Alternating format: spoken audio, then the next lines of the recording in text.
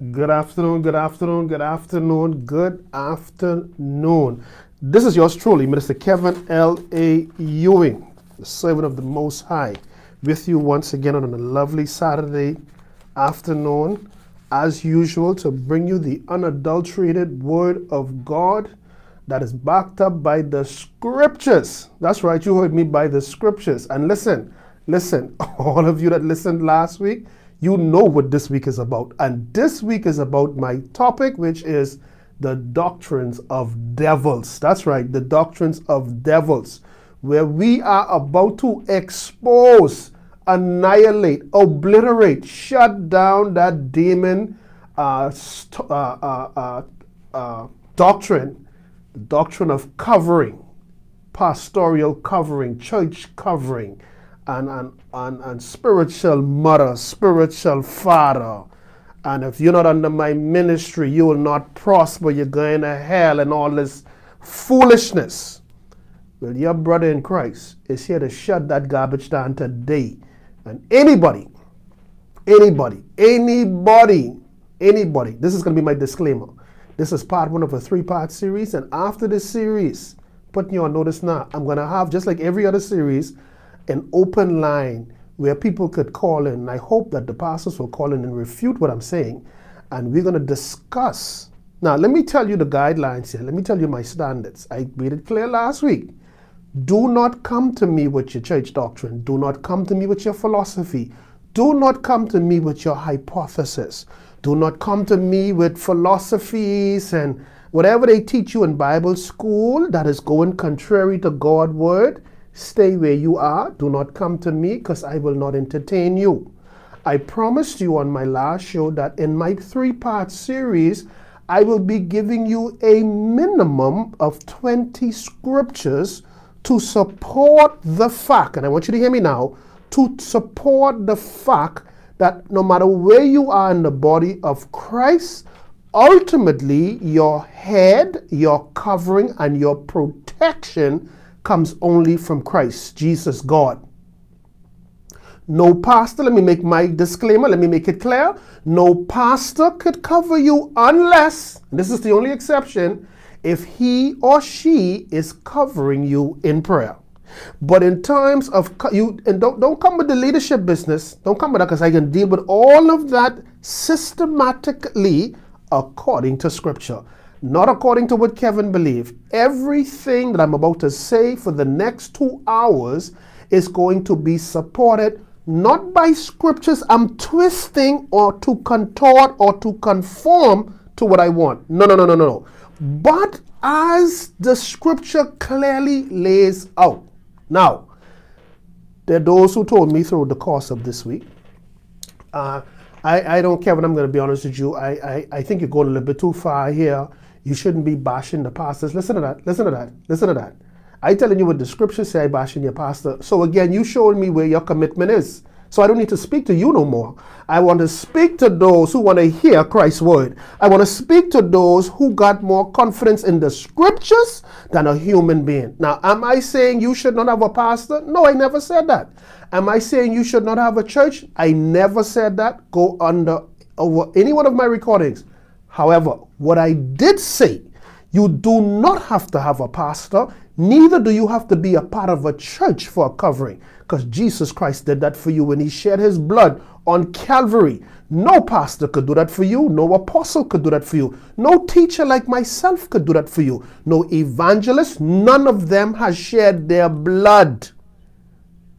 And it is the blood of Jesus that covers us. So, seeing that none of us have done that as it relates to the five-fold ministry, then we do not have the right, we do not have the authority, neither can we institute it. No. But what this evil demon doctrine of covering has done, it has created a government within a, the government of Christ, which we know to be a quasi government. No, no, no, no, no. No, God set his rules and his principles. God set the pastor, the apostle, the teacher, the evangelist, and the prophet. Did read it because they love to throw the scripture. I mean, I can get into all of that today. They like to say, well, Kevin, if you're not a part of the fivefold ministry, if you're not being led or under these fivefold ministry, you're in error. I in error. I in error. I in error. Let's back up. Let me just before I even jump into it. So, which prophet, which apostle, which teacher, which evangelist, or the, the next one, which one of them was Moses under? I hear crickets. I don't hear nothing. Who? Which one of them? Who? Moses was led by who? Prophet. Moses was led by who? Elijah. Who was his pastor? Who was his teacher? Who was? Didn't all of them eventually have to submit to God Almighty? So where does this New Age church come in with all of these rules? And let me make this clear. The reason, the sole purpose of me doing this teaching is to really unravel the, uh, the, the, the confusion that these people that practice this, let me make this clear, foolishness have done over the years. And the, the main reason why I'm doing it is for this reason. This teaching is going to now make crystal clear to you why you are never progressing in your Christian walk. This, this teaching is going to make clear to you that you are so committed to your teacher, pastor, whomever, and you took what they told you that has nothing to do with the Bible as the ultimate authority. You served them, you worship them, but you thought you were worshiping God. And I'm going to show you that in this particular teaching. So, my disclaimer is this Should you go to a church? Yes. Uh, should you be under a pastor, a teacher, an apostle, and everything? Yes, you should. I think you should. Now, why, Kevin? Because it sounds as if you're contradicting. No, I'm not contradicting myself. No, you would like to make people believe that, but I'm not doing that. Let me make it clear. I am not against the church. I am not against a pastor. I'm not against a prophet, a prophet, unless they're false. I'm not against none of these fivefold ministries if they are genuinely for God.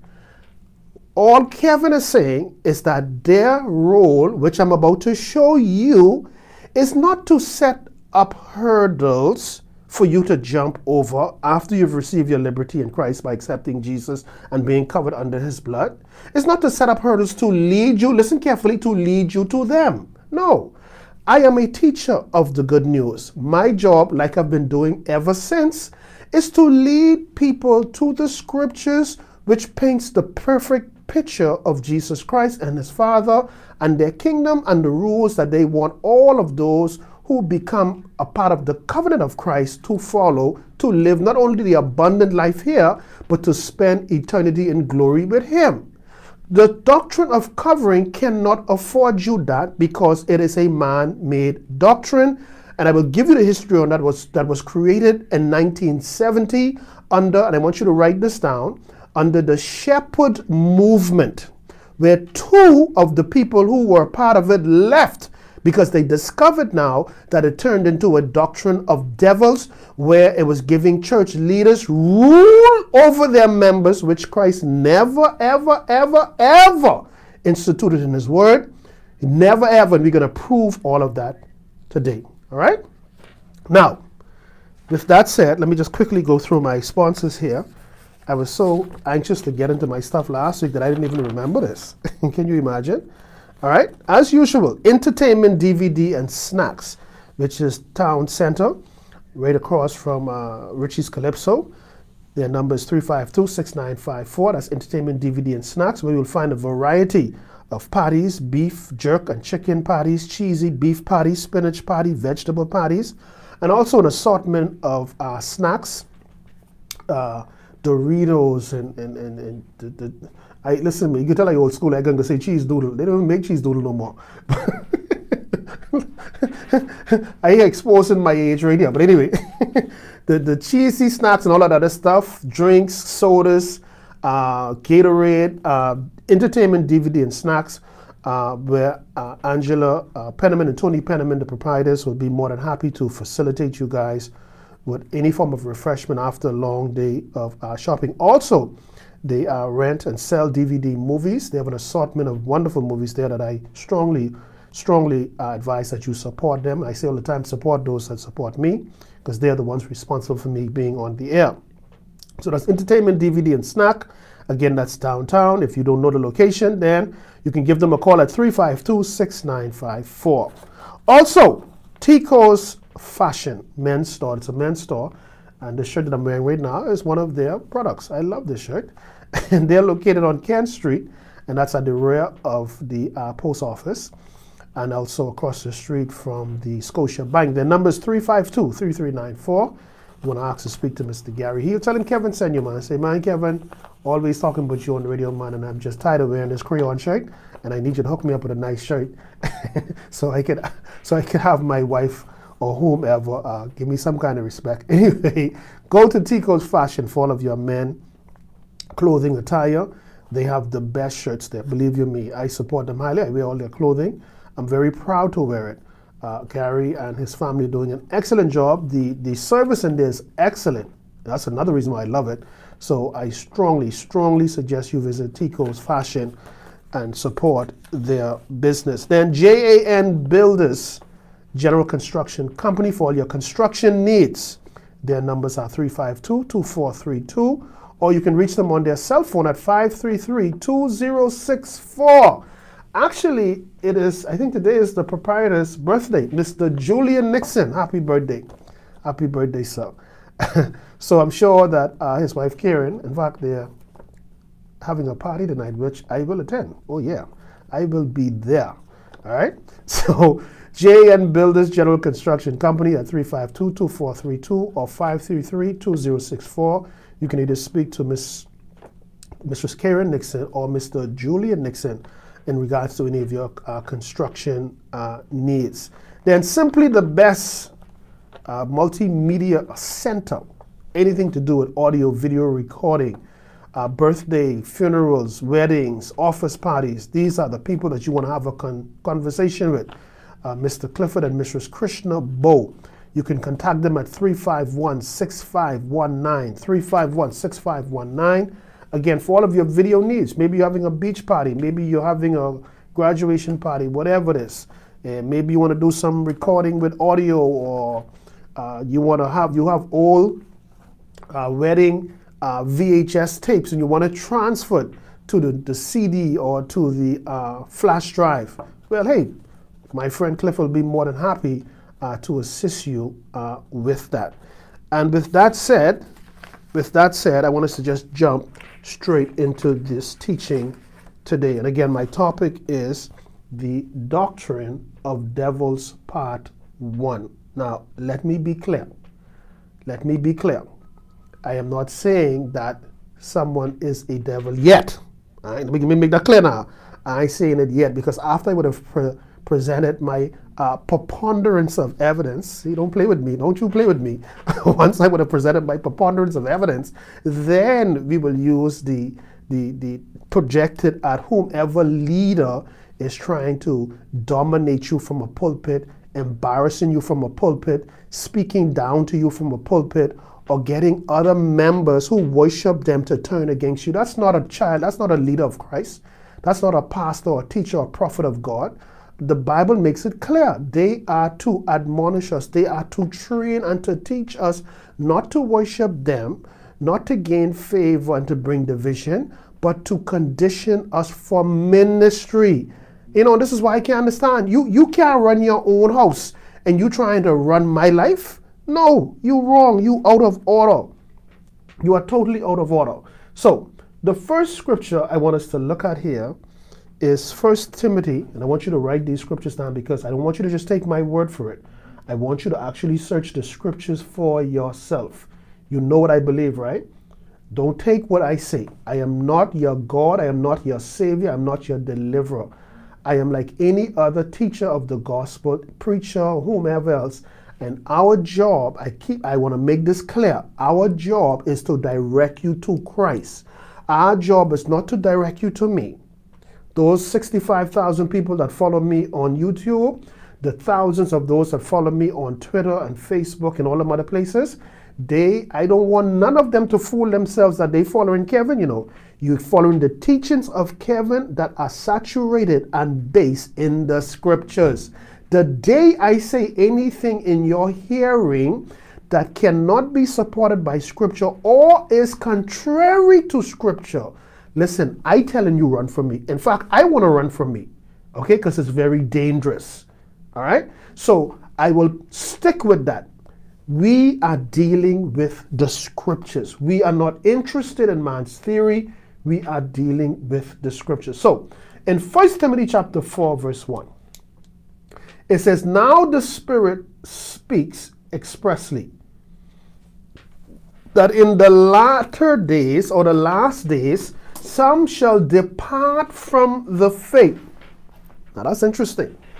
Some shall depart from the word of God. Some shall depart from the, the gospels. Some shall depart from the teachings of our Lord and Savior Jesus Christ. Some shall depart from his rules, his principles, his laws, his commands, his precepts. He says, Some shall depart from the faith, giving heed, listen to this now, giving heed to who? Seducing spirits and doctrines of who? Devils. So there are a certain group of devils that have forged a doctrine and has handed it over to some leaders in the body of Christ, be it pastors, be it teachers like myself, be it apostles, be it evangelists, or whomever. And he said the, the one that accepted this were those, he, he, this is how he prefixed it, it was those that departed from the faith. Now, most of these, you could see them coming up now, if they haven't turned that way as yet, through their arrogance, through their know-it-all, through them being to, to I've been to Bible college just like you. They, they believe that because they've been to college, they have a, a, a monopoly on the scriptures. They're not teachable. They believe that is either their way or no way and they will be in the church and they will tell you, This is my church. If you don't like it, you could hit the highway or you could leave if you are not on this road. Who is this devil? How you could speak to the people of God like this? Who are you? See, this is where the haughtiness and the arrogance and the pride begin to arise where if you don't do what I say or submit to me or bow to me, then God will strike you down. God will poke you in your eye. You wouldn't prosper. You wouldn't go ahead. The devil is a liar. Because when I look at how my Jesus led his 12, there is nothing that what I have just said to you that resembles the teaching of Jesus Christ. In fact, I'll take it a step further. Jesus Christ was fully aware, listen to this carefully now, that Judas Iscariot will not only lead him to his death, but he knew the man was a thief stealing from the treasury of the twelve. But did Jesus tell him, get out of my, my did Jesus say, uh, you will not, no, no, no, no, no, no, no, no, no, no. He didn't do it. You know why he didn't do it? Because Jesus saw the bigger picture. Jesus know that all things are working together for those that love the Lord. And Judas have a part to play. Don't you play with me. Don't you play with me. Judas, so you don't condemn. Uh-uh. He let Judas remain there while he continued to heal, while he continued to preach, hoping that one day Judas would say, you know what? This is the Christ and I really should follow after him. But Judas made a decision like everybody else. All right. Unfortunately, his decision would have been an error and would have cost him his life. But Jesus never treated him any different. Jesus never stood up when he was preaching to the multitude and said, There's some among my twelve. Oh, they don't support me. They're wicked and evil and speaking against the. I heard what you say, oh, they about me. Man, preach God gospel, man. What you run all this mess for? We come here to hear God word. When we want to hear gossip, we go listen to the news. Huh? So stop being mixed up and, and, and do what your role is, and that is to teach us about Jesus. Don't bring division in here. Some people in here, you know, they, they treasure their pastor. They buy me suits and give me gold teeth and short pants. And some of y'all out there, y'all don't care, but y'all, oh, what scripture that is, Show me that scripture I'm supposed to furnish you with gold teeth, please, and, and, and give you jeans pants. Could you please get on with the word of God, sir?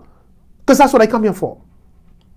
So, this is what I'm saying to you. When we talk about the doctrines of devils, It isn't something that is thrown on that leader. No. Over time, that leader be, get beside themselves, like the old people say.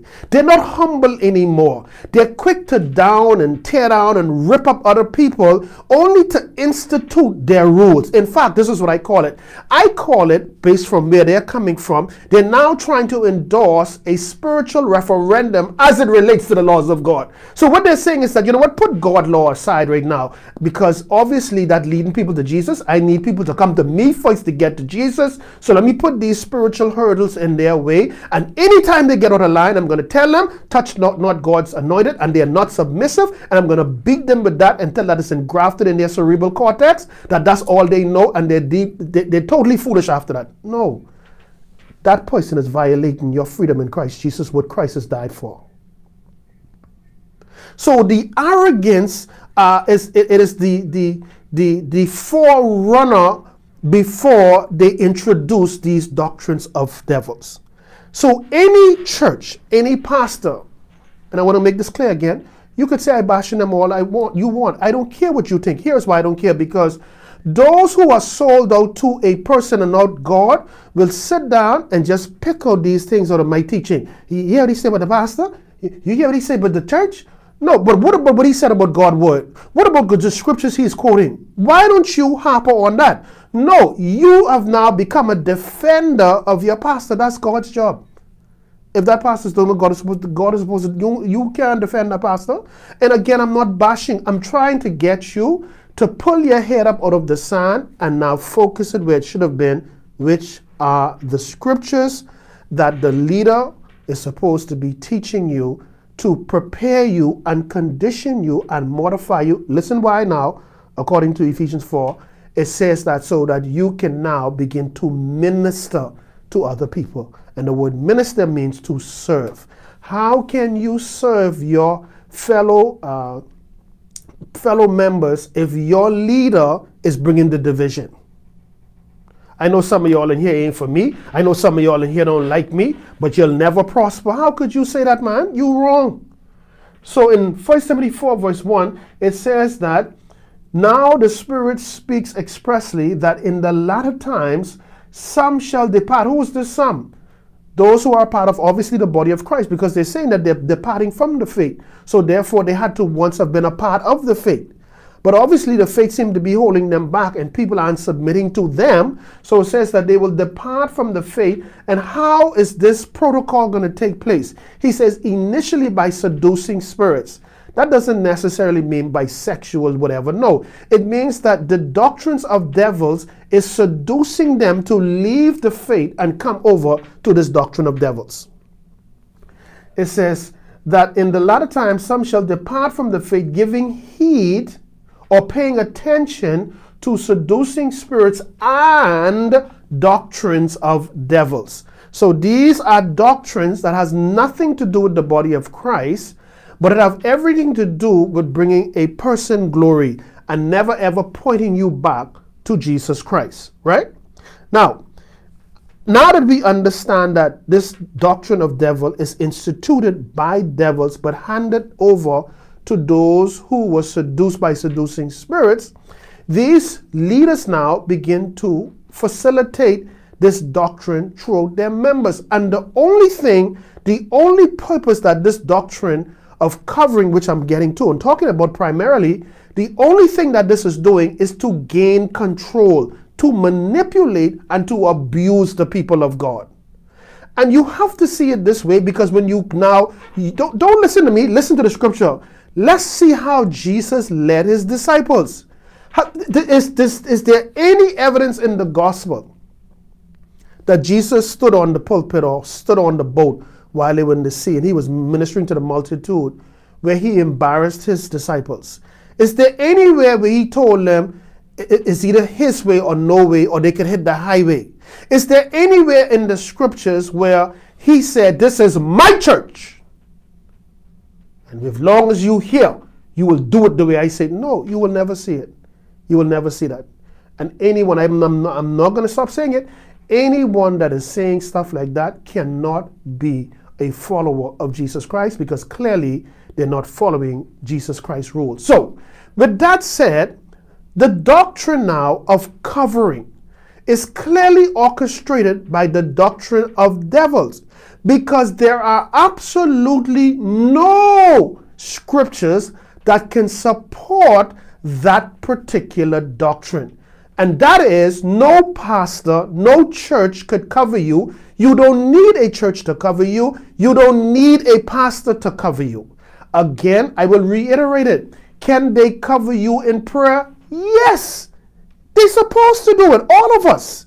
The Bible says to us in Luke 18, verse 1, I think it is, it says that men are to always pray and not faint. So that's all of our jobs to pray and cover one another in prayer. All right? Now, I want us to look at another scripture now because I'm going to give you the understanding of covering in the Old Testament, and then I'm now going to take you to the New Testament as it relates to God's covering, not these man made Mickey Mouse made in China covering. No, no, no, no, no. We are talking about the covering of God. That's what I want to hear. Now, bring me the scripture on that, and I will take you to one right now. Let's go now to Psalms. Let's go to Psalms 91. Psalms 91. And we ain't waking the old here. I know y'all like Psalms 91 and turn your Bible on people. we, we, we, we ain't practicing no mojo here. All right? so you could scratch it off your list right now. All right? Psalms 91. Listen to what it says.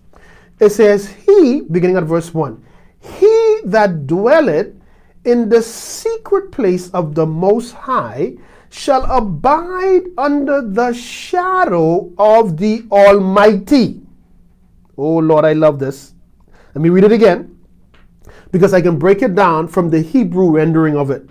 It says, He that dwelleth in the secret place of the Most High shall abide under the shadow of the Almighty. Psalms 91 and verse 1.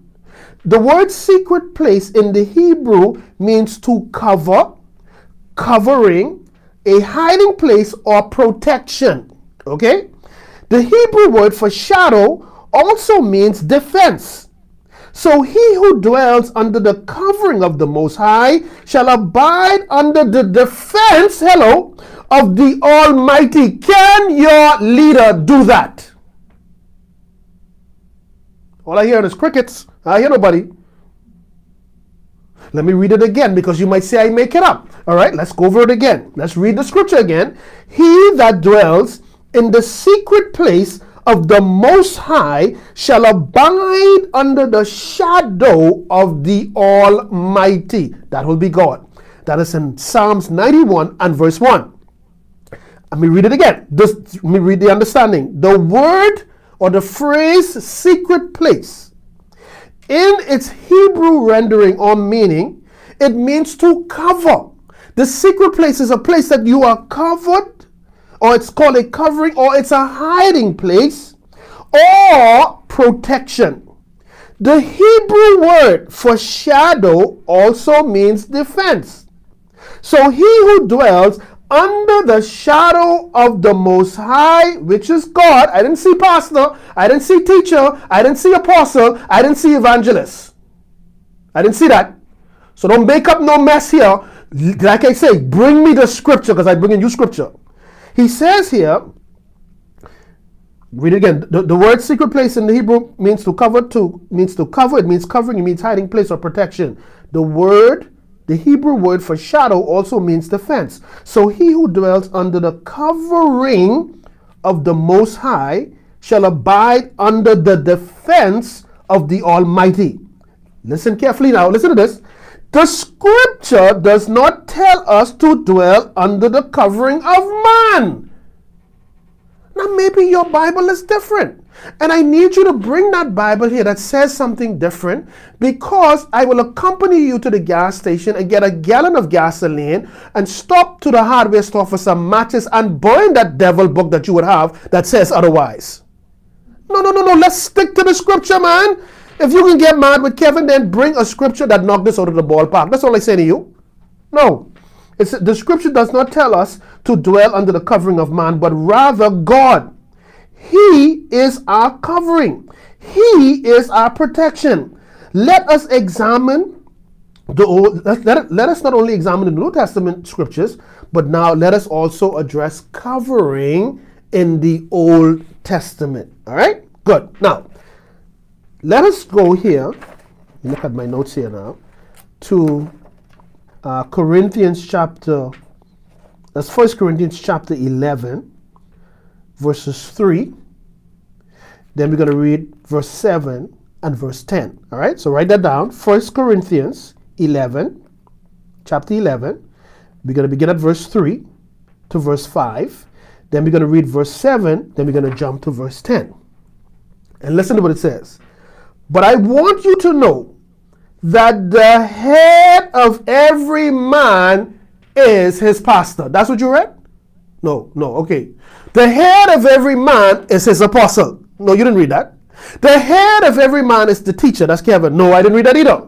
The head of every man is the evangelist. No, I didn't read that either. So, where did the doctrine of covering come in where I must have the leader as the one who stands up on the pulpit? Please tell me.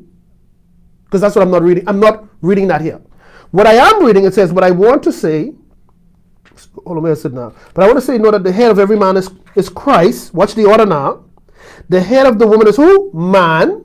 Okay? And the head of Christ is who? God. So let me see how this covering works now because it's like an umbrella. We have God, who is the ultimate. Then we have a son, Jesus. Then we have the man. Then we have the woman. Could someone point me to the apostle in there? Could someone point me to the to the pastor? Could someone point me to the teacher? Could someone point me to the evangelist in that order of covering according to the New Testament? You can't. You can't.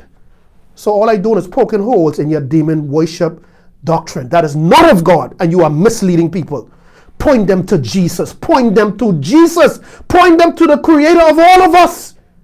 Our job is to do what I'm doing right now. Teach them about Jesus and his rules and stop trying to manipulate them. Stop trying to point them back to you. Stop it. It is not of God.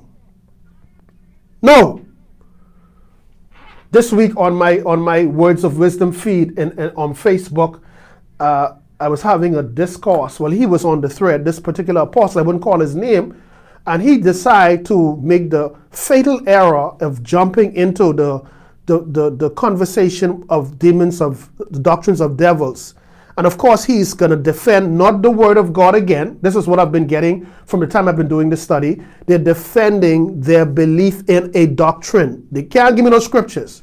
So he says to me, he says, Kevin, who is your pastor? And I wrote right under there, I said, my pastor is Jesus Christ. He wrote, and if, if any, and in fact, I snapshotted in, t- in case he tried to delete it. He wrote underneath there, this is sad. You all hear that? You all hear what the apostle say? I tell the apostle that my pastor was Jesus Christ. And the apostle said to Kevin, that is sad. The apostle say I should be under a pastoral covering. But folks, I just read to you in Psalms 91 and 1, right? And, and, and I will continue it in the, the, the, the New Testament. And the Bible is unequivocally clear as it relates to the teaching of covering. Who is your covering? So why, why are you allowing these people to mislead you? Am I bashing the pastor? No, I love them. I want the best for them. If I didn't, I wouldn't be teaching what I'm teaching right now. I would make this bold move and come up against the establishment because I know the prosecution, the persecution will come. It's been coming after me, but I don't care what they say or what they believe. I care what the scriptures say.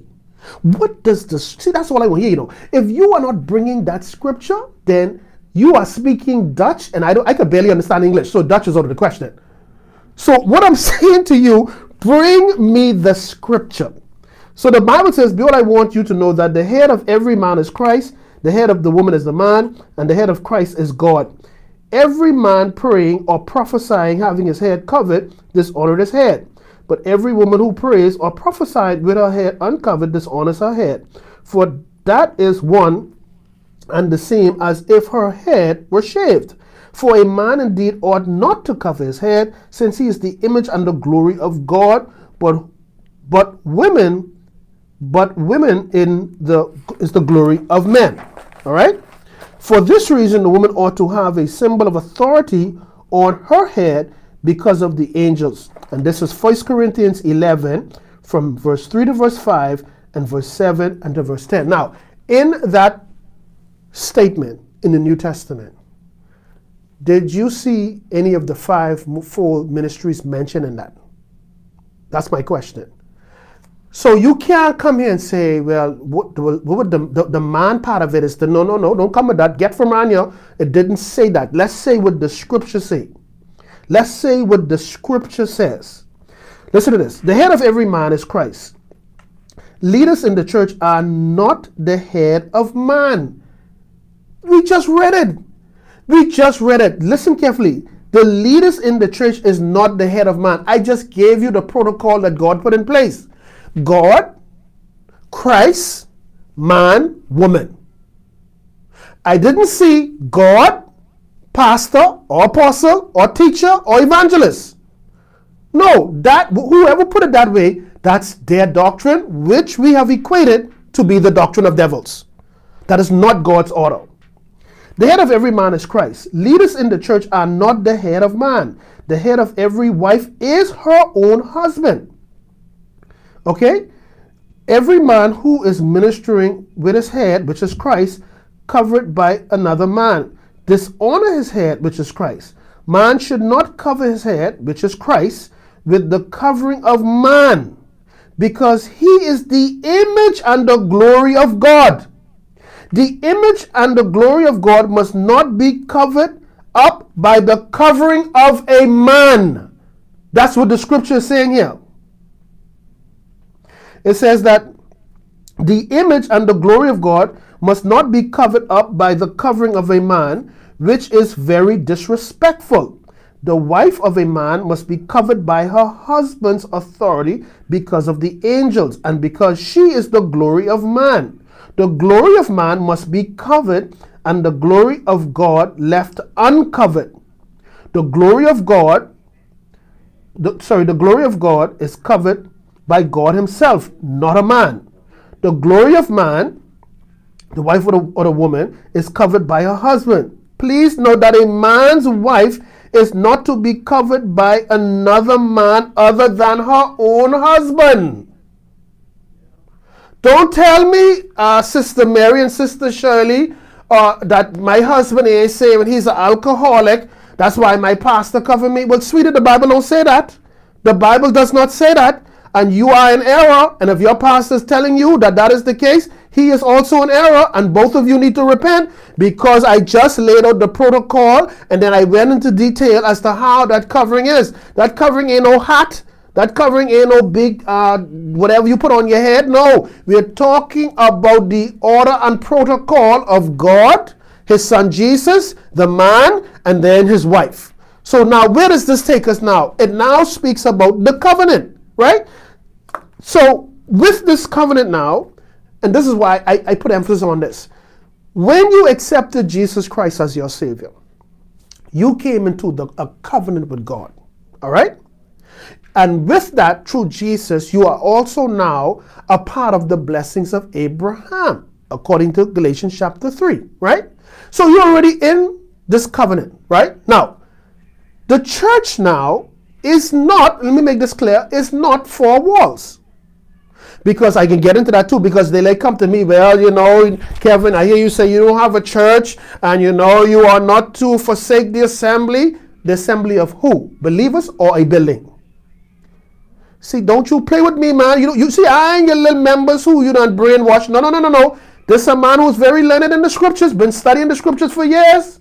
Okay? The Bible is clear. When you, you accepted Christ, you came in covenant with God and his kingdom, with his son Jesus, through his son Jesus Christ. Through Jesus, we are saved. He became the ultimate sacrifice. Now that you are saved, listen carefully, listen carefully.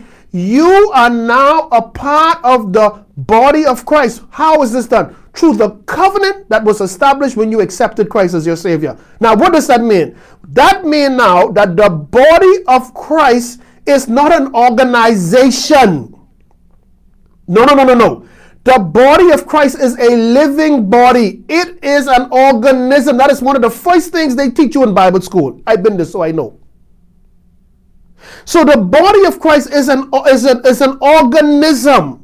Right now, you guys are gathered around your radio. You are gathered watching me on Facebook, your phone, or whatever. We are assembling. We are not forsake. We are literally fulfilling that scripture. I think it's in Hebrews 10 somewhere about this. Someone can put it on there. We are fulfilling that. We do not have to be in four walls to be assembled. You know why? Because the four walls is not the church. We, we, the body, the living organism all of us who are one in Christ Jesus, we're the body. When someone stopped me through the course of the day and say, Brother Kevin, I had a dream, or Brother Kevin, I need some spiritual advice, you know what the scriptures say? Let me tell you what the scriptures say. Just in case you have a problem with what I just said just now that you are a living organism. Jesus said in his word, Wherever two or more of you are gathered in my name, there I am also. So if I am in here talking to you and we're talking in Jesus' name, is Jesus not going to be there because we're not in a four wall or not in a church? Folks, wake up, you know. Folks, I'm not trying to bash your pastor. I'm not trying to tear down the church. I'm trying to open your eyes so that you could begin to live the freedom in Christ Jesus that He died for you to have in the abundant life that was stolen from you under the rules of men. That's all I'm trying. I'm not trying to belittle. I'm not trying to, whatever you say I'm trying to do, I'm not, the only thing I'm trying to do is facilitate the word of God, which is my job as a teacher of the gospel of Jesus Christ. That's it. What you call me, how you feel about me is irrelevant. None of that could get you or me in heaven. Let's stick to the rules. So, therefore, let me get back to my point now. Jesus Christ, whom you've made the covenant through him, you're now reconciled back to God. Jesus Christ, who was who dead, who, who, sorry, who was killed, buried, and, and raised again now. This is the one who shed his blood for you. So you're in covenant with him. Now, why am I saying all of this? I'm saying all of this because this is another evil doctrine. No church that you go to, four walls, no, no, no, whatever, should be telling you, in order to be a part of them, you need to come in covenant with them. You should that should that you should walk away right after that. What am I coming in covenant with? Haven't I already become covenant when I became a part of the body of Christ? So what this other covenant is? Uh, you, uh, uh, many many of them say this on the the, the, the, the televangelists, right? They would say, uh, uh, join us in the hand of covenant and sow a seed. I don't need to come in covenant with you to sow a seed for what? Now let me tell you why I'm pounding on this because this is also a part of these false doctrine. See, understand, remember now, let's go back to my teaching in January uh, evil covenants being established. Remember what a covenant is, you know. It is an agreement between two or more people. But here is the catch, though. You're not just making a covenant where you sign words or agreeing to words. No, no. In that covenant, you are now surrendering your spirit. I wrote on, on my notes this morning, I said, in a covenant, your spirit is made subject to the covenant being made. Now, what does that mean? When you decide, when you decide now, you say, okay, you know what? I won't go to to that church on the corner, the Church of Christ to the third power on the corner. But the Church of Christ to the third party on the corner says that now you could come join us, but we need you to come in covenant with us. The first thing you should say, well, for what? This is the body of Christ, right? I'm already in a covenant with the body of Christ. No, no, no, no, no, no, for membership. No, no. Show them in the scripture. Show me in the scripture where Matthew, Luke, John, whomever, any one of the 12 disciples had to make a covenant to be a part of Jesus 12. Show me that. No, you can't show me that. Why am I saying this? Because you see, when you now join in covenant with that organization, not organism, because the organism is a living body, but this business over here, you are now surrendering your spirit to the covenant that you made. So you know what that means now? Now they do have the right to say to you, when you feel like leaving, you know God ain't you no more. They say, if you leave from here, you will not prosper. If you leave from here, you are cursed. If you leave from here and start your own church, it will never happen. And guess what? They could make that statement, and the statement is true. Guess why, though? Because you went besides yourself and scripture and forged a covenant with them. They are no different from the secret society. They are no different from the fraternity, the sorority, and any other entity that make you sign covenants. I don't need to, if, if I want to join the Baptist church, the Pentecostal, the Catholic, or whatever, why should I have to forge a covenant with you when if we are the body of Christ, a living organism, which all of us had to covenant with Jesus Christ to be a part of that kingdom, why is a second covenant necessary? Why? Why? See, again, I'm waking you up. I'm opening your eyes. I'm showing you how these seducing spirits come in and now begin to override you with the doctrines of devil but you don't understand the spiritual implication behind these things that you are doing you know why because your your leader is your pastor your leader is your prophet your leader is your is your whomever they call themselves and yes they are put here to lead and guide not to rule not to dominate not to insult you and embarrass you and levy curses on you if you decide to leave their organization, because it's not an organism. So, this is why these teachings are imperative, because what it's going to show you now that now you understand why you weren't getting ahead in life. I wasn't getting ahead in life because I was committed to the rules and the regulations of men. I was I was I was committed to to my pastor who intimidate me from that pulpit. I scared to leave or say something said on that pulpit that is against the laws of God, but I scared to tell him because he done set all us straight that the day we don't like it, we could leave. It is the highway or, or it is his way or no way. That's a controller. That is an insecure human being who leads with fear, who leads with intimidation. It's a Jezebel spirit on that person and they need deliverance. They need deliverance. So now, why, why am I bringing this baby home to you in this manner? Well, let's go. Let's go to Second Peter. Let's go to Second Peter chapter 2. And we're going to read from verse 1 to verse 3, right? Second Peter chapter 2, verse Second Peter chapter 2, beginning at verse 1. And again, I'm going to read all the way to verse 3. But there were false prophets also among the people, even as there shall be false teachers among you. They probably saying that's you, Kevin. Who privily shall bring in damnable heresies. That's now the doctrine of covering. That's now the doctrine of spiritual father and spiritual mother. That's now the doctrine is if, if you're not under a church, then you cannot be covered. If you're not under a pastor covering, you are covered. This is what this scripture is talking about. Let me start again. 2 Peter 2, beginning at verse 1 to verse 3. But there, but there were false prophets also among the people, even as there shall be false teachers among you, who privily shall bring in damnable heresies, even denying the Lord that brought them, and bring upon themselves swift destruction. And many shall follow their pernicious ways. You hear that? But I'm not surprised because Jesus already tell you, broad is the way that would lead to destruction. Ain't much gonna listen to me. You know what? Who he think he is? So whenever you overwhelm them with the truth, now they go pick up stuff that is totally irrelevant to what we're talking about. I ain't listen to him because he he just wear size eight shoes. What I got to do with this? What I talking about? I listen to him because uh, he, he he he his family from Tug's Island. Okay, what do I have to do with the scriptures?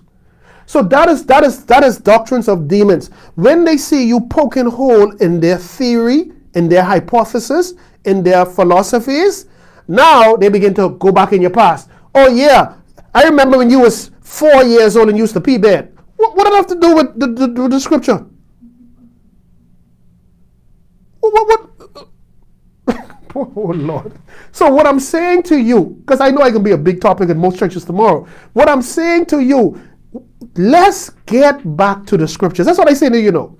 So verse 2 of Second Peter chapter 2 says, And many shall follow their pernicious ways, by reason of whom the way of truth shall be evil spoken of. That's what he's saying about me right now. Who do you think he is? I can tell you why I'm a teacher of the gospel. I told that already. Verse 3 says, And through covetousness, ah, uh, yeah, greed, tingsy, mm-hmm that's to them. Tingsy, greed, and through covetousness shall they with feigned words make merchandise of you. Come here. Give me the thousand dollar line over here. Give me the three billion dollar line there. And give me the 100 line over here. And God says He got a special blessing for you if you sold 33 quadrillion dollars over here. What scripture that is? Oh, I just found the scripture. Here it is. 2 Peter chapter 2, verse 3. And through covetousness, because at this point they're, cov- they're, they're confident that you've bought into that, that, that, that, that doctrine of devils in terms of covering and it's doing what it's supposed to do now. Now, you can't question what they tell you, even though you see it's going against the scriptures. The Bible says in verse 3 of 2 Peter chapter 2, and through covetousness shall they with faint words make merchandise of you. Oh, yeah. Miracle cloth, Jesus pillow, miracle juice, miracle Kool Aid with extra strength sweetener in it. Boy, look here, God, you gotta come, you know. You gotta come. These people want to know. I'm telling you. And through covetousness shall they with faint words make merchandise of you, whose judgment, I love this, whose judgment now of a long time lingereth not, and their damnation slumbereth not. Let me make an interjection right here. I remember years ago, I told you this story before, and I think it, it went repeating again. I remember I was to the barber shop, uh, went to get my hair cut, and there was a well known preacher, a bishop I know him for years. In fact, I knew this man before he even was a Christian. Many days, me, him, and my best friend used to sit and talk for hours. None of us were Christian then.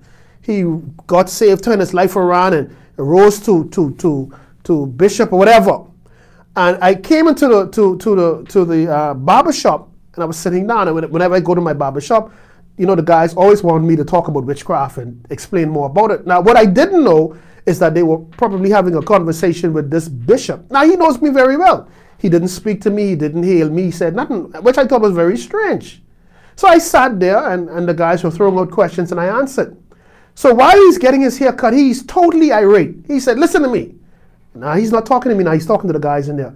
He said, I know this man, I read his stuff in the paper, and all he has is head knowledge. So I'm humbly sitting there, I'm not saying anything. And, you know, I guess he must know what he's talking about. So anyway, he started ranting and carrying on. So after he got his haircut, he stood up right next to me, but basically ignoring me and speaking to the guys in there. He said, let me tell you all something right now. This is the same reason why. Now he's pointing at me. He said, I don't let anything come and preach in my pulpit. My pulpit for me and my children. When I die, my children take over my church. And at this point, everybody in the barbershop was silent until one of the guys said, Well, Rev, I thought y'all two was on the same side. And where embarrassment took him, he just walked off. And ever since I saw that bishop, every time I would see him, he would totally dismiss, ignore me, or turn his head. And I remember one time I bucked him in a particular store, and I said, "Hey, Bishop, how you doing?" Uh. So what am I saying to you? Am I trying to bash the bishop? No. Am I trying to degrade him? No. Am I trying to belittle him? No. I am showing to you what doctrines of devils do. I'm showing to you when you think you're above God and his people, that you make a complete fool out of yourself. I didn't say a word to him. I never refuted what he said. I never counteracted. I didn't have to. You know why? Because my silence spoke for me. Those guys who wanted to hear more about the word of God, they were questioning me. If you were giving them the word, they would have stuck with you. Case in point, very simple. Let's stick to the Word of God.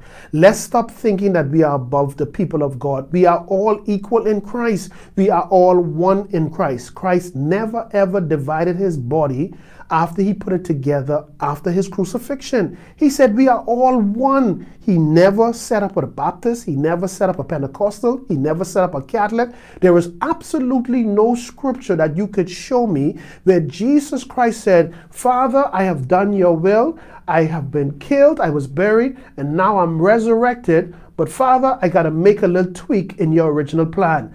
I don't want to make them one as we are one. Instead, just before you t- uh, send me to heaven, I gotta put them in order. So let's get this group now. Now, Matthew or Paul or whoever, you gonna be a part of the Baptist, and Woody name gonna be the Pentecostal, and you over here gonna be the seven day. No, Christ never did that. You know why?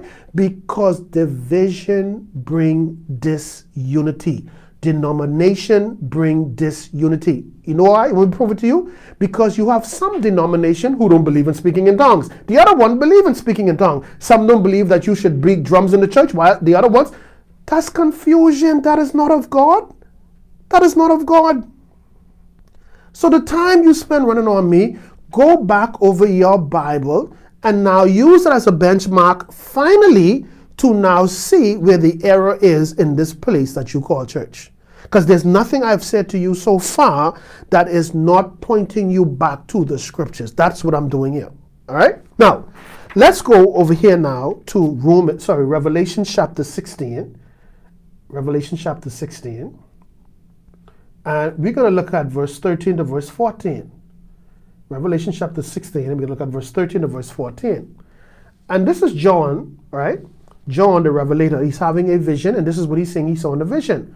And I saw three unclean spirits like frogs. They were not frogs, but they had the image of frogs, but nevertheless they were unclean spirits.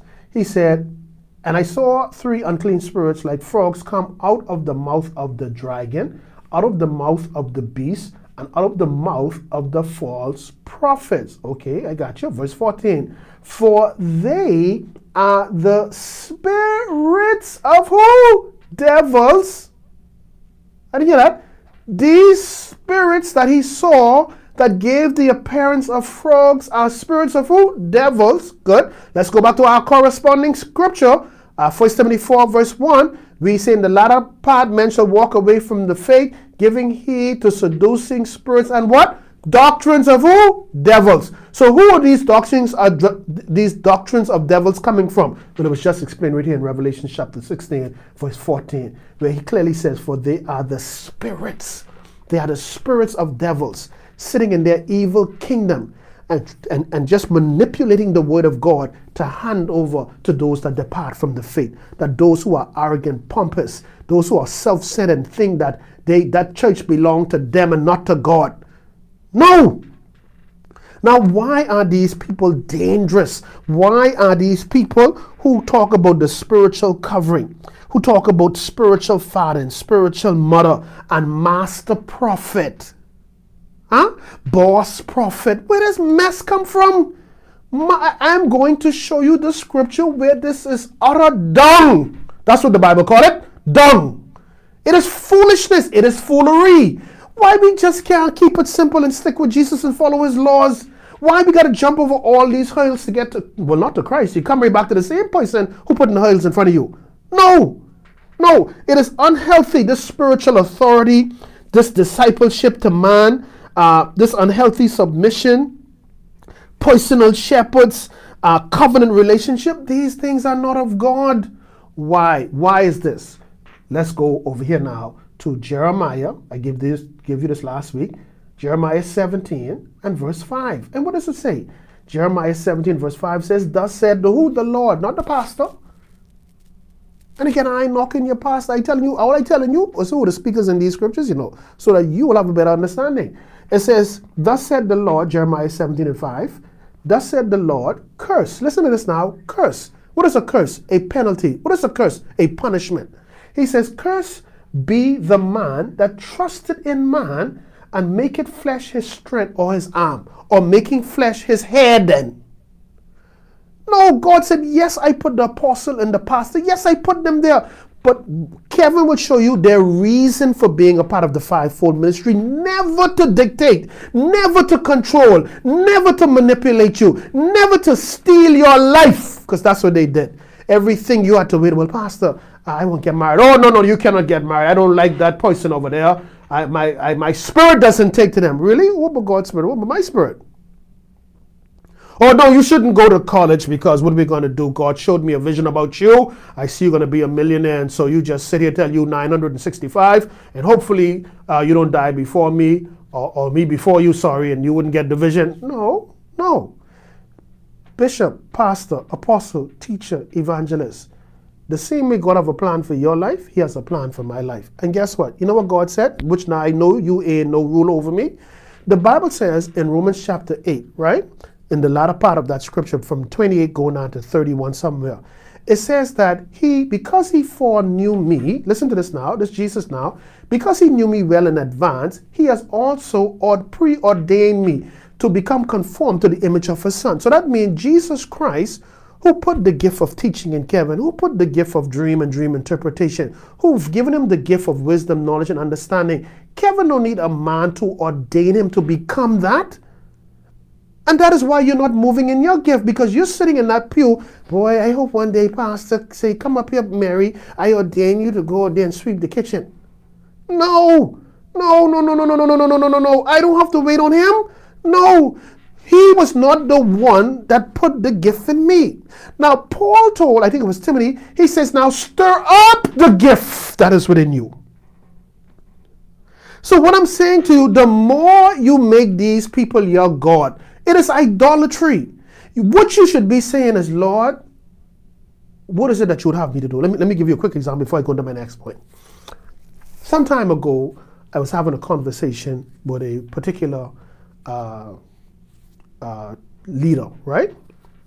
And they, they, were telling me how they were following my ministry, blah, blah, blah, all this other stuff. We started to exchange.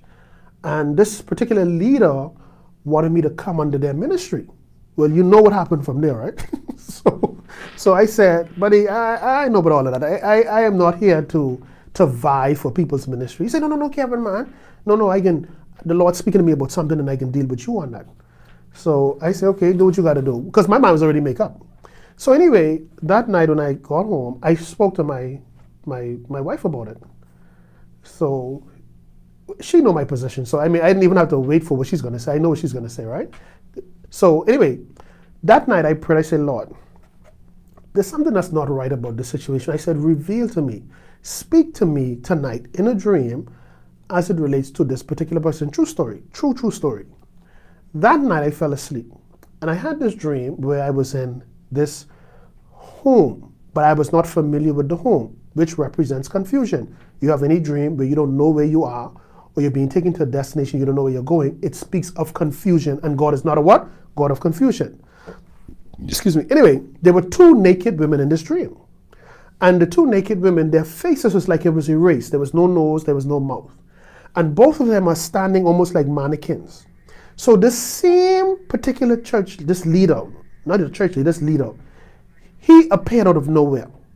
And he walks up to these two women. Now, in the dream, I could see these women and I could see this preacher, but none of them could see me. And this is what I refer to as spiritual insight. God is revealing things from the spiritual realm about a particular group, person, place, or thing that they would that you would never know under normal circumstances. So he walks, I mean, he's like within six to seven inches of them. And both of them are side by side. And he says to them, listen what he says in the dream. He said, It is God's will that I sleep with both of you. So in the I I I, looking around and one of this fella had good. And, and, and again I know this person very well. So he now comes just a little bit closer, I mean almost in touching distance. And he's looking both of them in the eye. And he has his hand down and he's looking them, his hand is crossed, and he's looking straight at them. I saw him in all of his uh, rings and all these other bishop stuff or whatever, apostle stuff they wear. And he looks them in the eye again. He said to them, he said, it is God's will. That's what he said to them now like in a preacher mode, he says, God's will that I sleep with both of you. And I woke up out of the dream. I woke up out of the dream and uh, I told my wife Deidre, but I said, honey, I love my God because God will always show me. I don't care much how man try to hide. God, as long as I honor my God and come to Him and request of Him, He will reveal to me. So now that God already showed me that, I have no more dealings with that person no more. I don't want to hear nothing but your ministry no matter what. In fact, what I have done since that dream was praying for their deliverance. And until I see that deliverance take place, then I'll, I'll, have to cut that person off. So what I'm saying to you, this is just another example. I don't have to go to someone to say, well, what you think with this one, or or you think they real, or no. Why when I have the same access to God as you? No, no, and that is why we have to stick to the scriptures. Stick to the scriptures. Now, let's go to Mark. Let's go to Mark chapter 7. Mark chapter 7, and we're going to read from verse 1 to verse 13. Mark chapter 7, verse 1 to verse 13, right?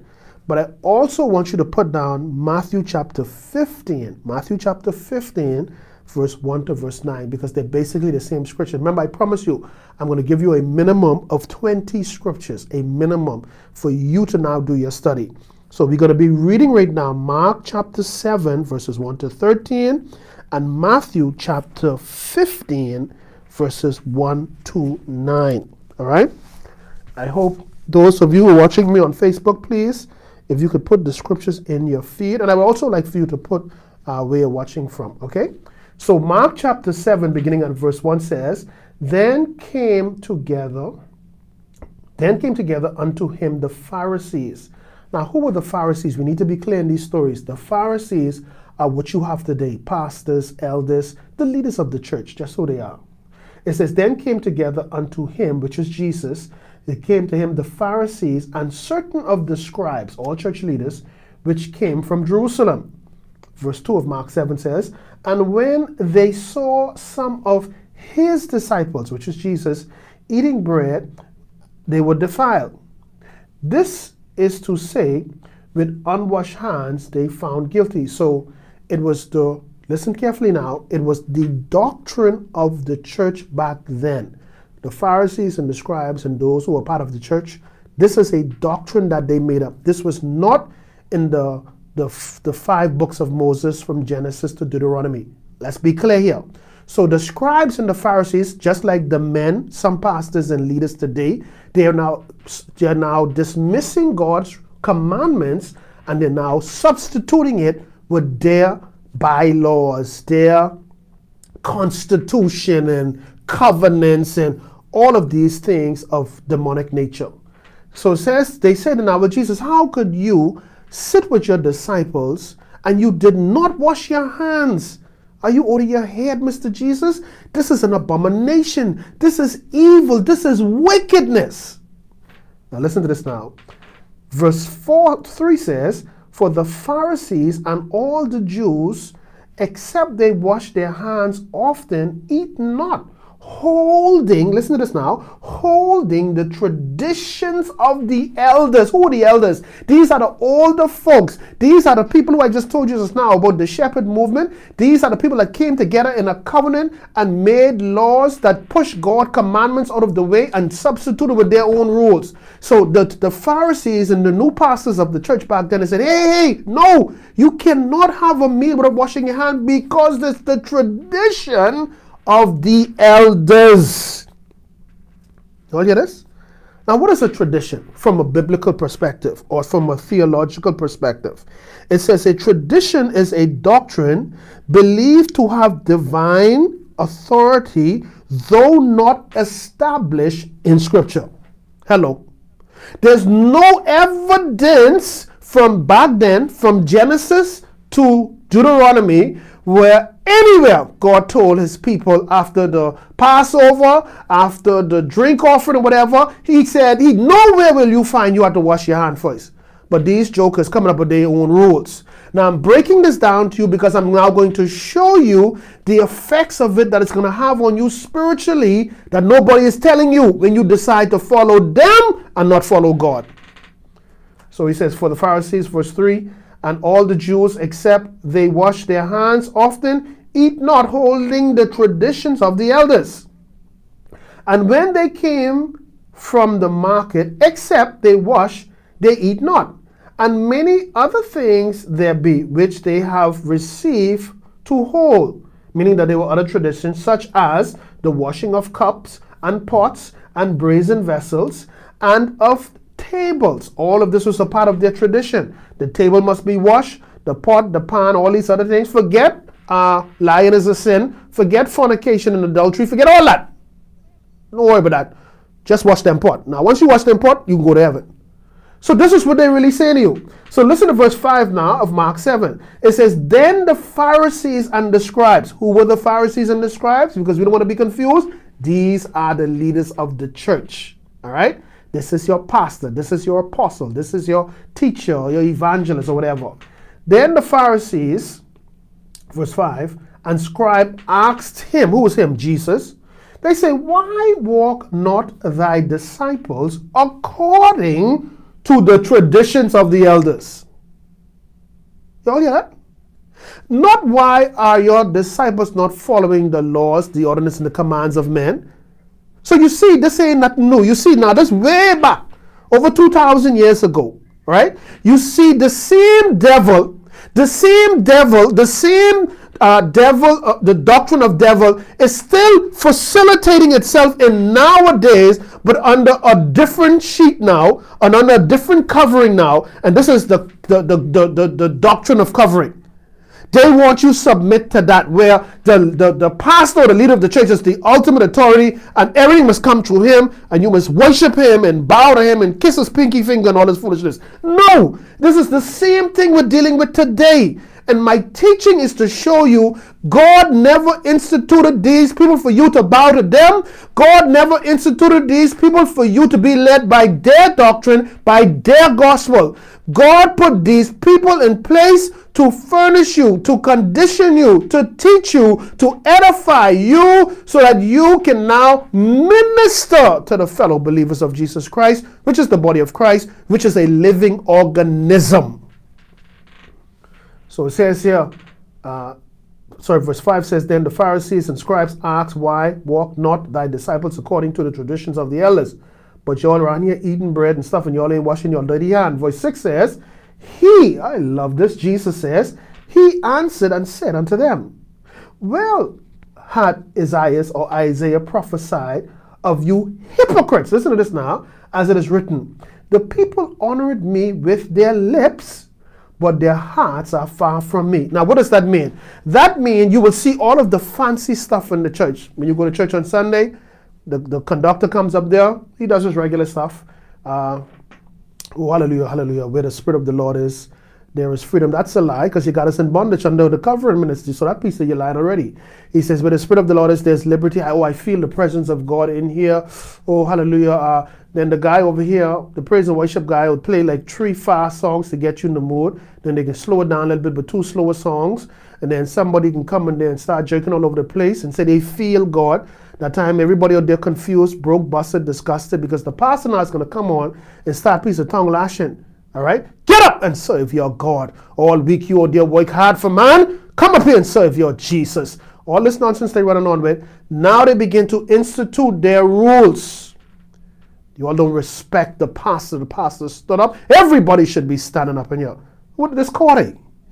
See, what I'm saying to you is let's go by the rules. Why are you bringing up all of these unnecessary stuff that have nothing to do with the rules, the laws, the principles of God? Why are you so adamant about pushing your agenda as opposed to pushing the agenda of Christ, which entails pushing them to Him?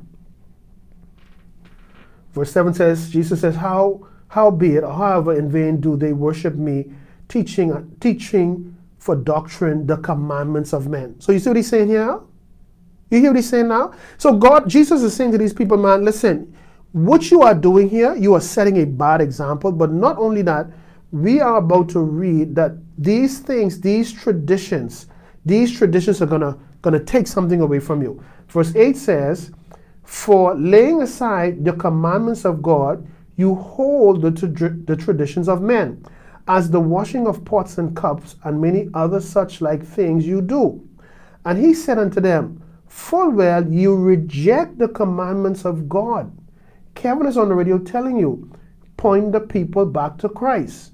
Kevin is on the radio telling you, stop putting hurdles in people's way, teach them about the liberty of Christ, cause them to be modified through their members of fornication, lying, stealing, and teaching, and so on, by teaching them the scriptures, because only the scriptures could do it.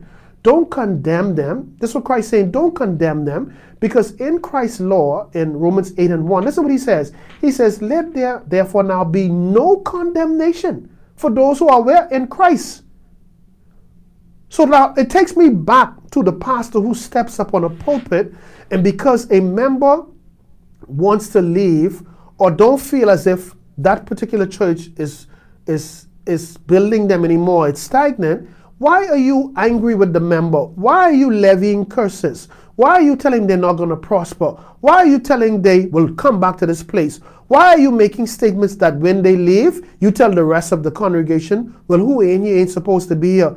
This is not your petty shop. This is not your mom and papa store. This is the living body of believers of Jesus Christ whom you should be directing to God, whom you should be telling them about the free gift of salvation, how to participate in the laws, the rules, and the commandments of God to produce the promises of God. Not to make Mary turn against Susie because Mary does buy you shirts and Susie don't. Not for you to make statements about who does what for the church and the pastor and who don't. You are not called for, to, to create division. You are not called to mislead people.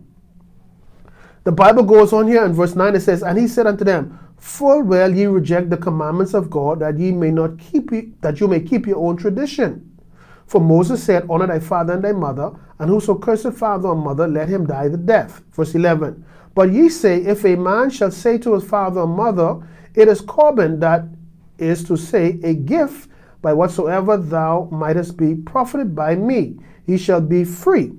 And ye and ye suffer him no more to do aught for his father or his mother. Listen to verse 13 now, because this is what I wanted to get to. Because this is what the doctrine of men will cause to happen in your spiritual life that will now spill over in your physical life. So, verse 13 of Mark 7 makes it very clear. Jesus now speaking in red.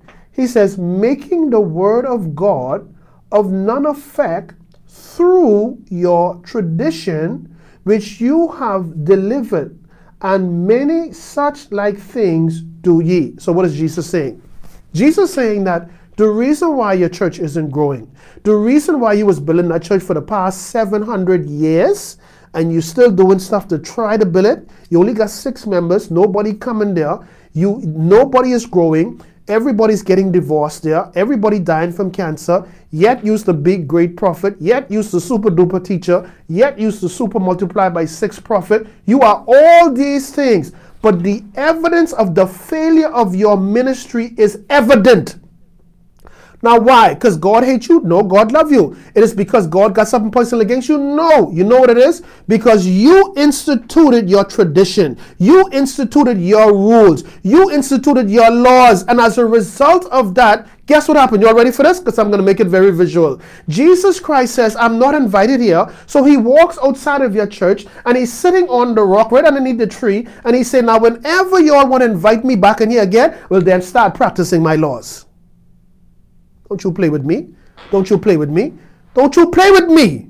Because I'm going to bring the scripture which you need to do now.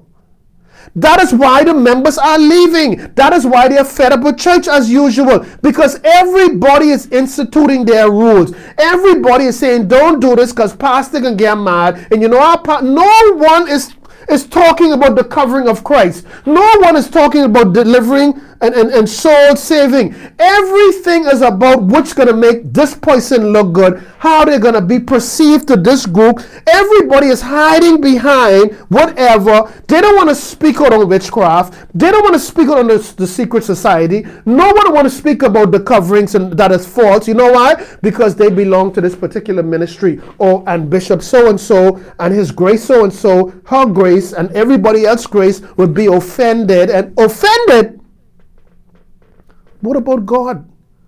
What about God word? Now you see people? Now you see what I'm talking about? I ain't knocking nobody. I am showing you where the commandment, sorry, the traditions of men has superseded the laws of the living God. And that's why they dying like crazy from cancer. They go on their head from obeah. They don't know up from down, Alzheimer's, you name it, right in the church where Jesus Christ, listen what Jesus said. He says that, listen, these miracles that I do, you will do greater. But how come you ain't doing greater? Because you're not following his laws. You're not following his rules. You, you, you reject his commandments.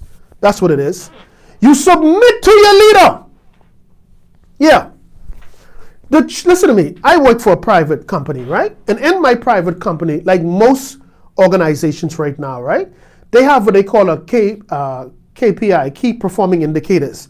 This, this system is to reveal how you're performing in the company under your portfolio. All right? So there are certain things that they measure you by. The church is the first place in the world where the pastor could do what he want to do, the apostle could do what he want to do, and every year he can get pastoral hundred dollars pin on him, five hundred dollars over here, an envelope with six million dollars over here. Ain't no soul saved underneath him, ain't nobody delivered, church as usual, but he's gonna be rewarded for that. I thank God for Jesus here. I thank God that Jesus is the one who gives the real reward. I praise my Savior for that. People, again, I'm not knocking the church, I'm not knocking the pastor. All I'm trying to do is get your eyes open through the scriptures. God is going to judge all of us. We are not accountable to the pastor. You are not accountable to Kevin. You are accountable to God. So, whatever doctrine of accountability, guys, under covering, it is false. It is a doctrine of devils. Your commitment should be to God. You should not be there. Well, you could keep sweetheart. You could keep sweetheart, but but pastor ain't see you. So you could come, you could come church Sunday and lead the praise and worship team Okay? Because the pastor running on tradition, so he don't sense, he don't sense, he haven't discerned there's something wrong with you. All right? So you live in your life. You're realizing that you that the enemy paving the road for hell for you. Because you figure, well, well, Pastor ain't see me, and Sister so and so ain't see me. And listen to you. Listen to your admission states exactly what you're all about. You are not interested in what God sees. You are not interested in what Jesus sees. As you you figure because so to me now I have to assume that you think Jesus and God and his kingdom are fictitious. Because you said, well, Pastor didn't see me, but someone, the one who could destroy you is who saw you. And that's where your commitment should be. You shouldn't be, but I ain't gonna go church because the pastor say they him and his wife them going on vacation this year. They go in Disney World and, and play with Mickey Mouse a little bit. So I see the need. I gotta come out. What you mean? So so the is the pastor the church? Is the pa- see all I'm saying to you through these examples, very clear. I'm showing you where your commitment lies. That's why Jesus said in this same passage of scripture, he says, just like the prophet Isaiah prophesied years ago before, he said, They worship me with their lips or their mouths, but their heart is far from me. As long as they're in front of the crowd, they are good with their talent of praise and worship. They are good with their talent of preaching and spinning around and, and cabbage patching all over the place. But at the end of the day, they have nothing to do with me. In their dark corners of life, they're engaging in all kind of wickedness but they come right back to church and put that false face on and act like they so Holy Ghost committed. You talk to people all kind of way. You treat them like dog. You undermine them. You wake old bear. You sweetheart. You cheat. You lie. You do all of that. But you know, when Sunday come, you could you could you could live that that fake life. Like you could lift holy hands. But you won't fooling me. You won't fooling even the pastor. The only person being fooled here is you. And all Kevin trying to do is help you by getting you back to the Word of God. Let the Word judge you. Don't let a pastor who's limited vision only when you wouldn't see in distance he could see you. He can't see you when you take a flight over to Florida with your boyfriend, girlfriend, somebody else's husband, or somebody else's wife. No, he can't see you there. But you know who's seeing you? The one who could send your soul to hellfire, or the one who could send you to heaven. And that's the one you ought to be concerned about. All right? So that's what I'm trying to get you to look at. Let's stick what, what God is looking at, what God is saying, and what God wants. Now, the argument now has come where they would say to me, Well, Kevin, you ought to line. Because the Bible say, I hear you talking about, but but we shouldn't rule as pastors, we shouldn't rule. Well, the Bible tells us to rule. And guess what scripture they just run to? Because they can blast them out of the park right now. Let's go to Hebrews, Hebrews chapter 13. Hebrews chapter 13. And we're going to look at verse 17, right? Hebrews chapter 13 and verse 17. Okay? And listen to what it says. Let me just get some water here. Hebrews chapter 13, I'm going to give you some chance, a chance to look for it. Hebrews chapter 13, verse 17. Listen to what it says. It says, Obey them that have the rule, circle that word. Oh, they love that. We can see just what I mean right now. Obey them that have the rule over you. Listen what it says now. And submit yourselves, for they watch for your souls as they that must give what? Account. That they may do it with who? Joy. That's what I read.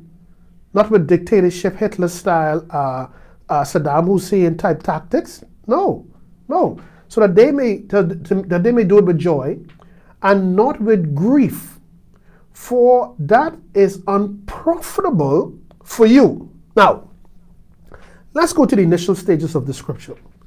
Now, God rule. We just read it. God rule say that we must obey those who are leaders, because that's what the word rule mean. When you look up that word rule, in fact, let me pull it up here on my, I forget I had this on my, the word rule here, where is it now? Because because this this Bible that I have here also have it in the Greek and the Greek and the Hebrew. So I'm going to pull it up again here. Hebrews 13 verse 17. And the word rule here, 13 verse 17, here we go now. Okay. The word rule here in the Greek, listen to what it means. In fact, it comes from the Greek word, I'm going to spell it because I know I can't pronounce this. It's H A Y G E H O M A H E E. Hagemogi. well, that's what it sounds like. Now, listen what it means. That word rule means to lead, to go before, to be a leader. Here it says. So it doesn't mean to control, it doesn't mean to lord. So when the scripture says here now, in Hebrews chapter 13, verse 17, which says, Obey them, obey them, obey who? Obey your uh, uh, apostle, obey your your pastor, teacher, evangelist, whatever. He says, now obey them that have the lead, or listen what it also means, that will guide you. Okay, now seeing that that's the original rendering of that word, my next question now, lead me to where? Guide me to who? You see, because don't come now when you see the scripture says that you must have rule over your bishop and your pastor. You do it. We say, no, that is not what it said. To lead and to guide me to God's word. And the day you stand up on that pulpit and you say something that is contrary, I ain't listen to you no more. No. Let me give you an example of it, just to prove my point.